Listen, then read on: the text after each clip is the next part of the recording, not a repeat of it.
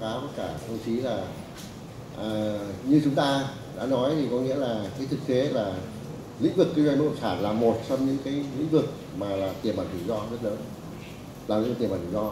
Nhưng không có nghĩa là lĩnh vực ngân hàng hạn chế cho vay đối với cả cái lĩnh vực bất động sản. Và chỉ hạn chế rủi ro là chỉ xem xét làm sao là chọn những cái dự án đầu tư có hiệu quả và chủ đầu tư đủ thực sự năng lực thì mới xem xét đầu tư vào cái doanh nghiệp, tổ chức cá nhân mà thực hiện kinh doanh bất động sản.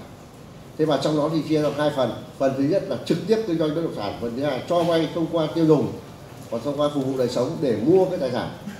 Là bất động sản, bây nhà của cái chủ đầu tư thì cũng chính là cái việc liên quan đến là cho vay đến lĩnh vực bất động sản.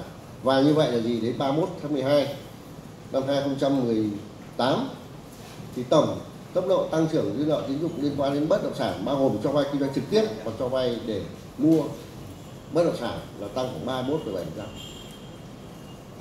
31,7%. 31,7%.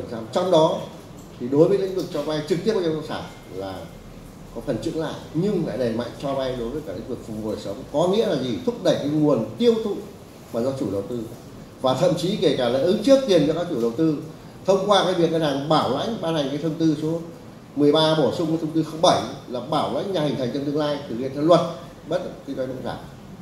Thế như vậy là gì? Là là mặc dù là các chủ đầu tư kinh doanh bất động sản là thực trực tiếp với bất động sản, dư nợ thì tăng trưởng không cao, nhưng cái tốc độ tăng trưởng cho vay đối với cả việc với người dân mà mua chung cư rồi là mua bất động sản của các chủ đầu tư là tương đối tăng, tương đối mạnh.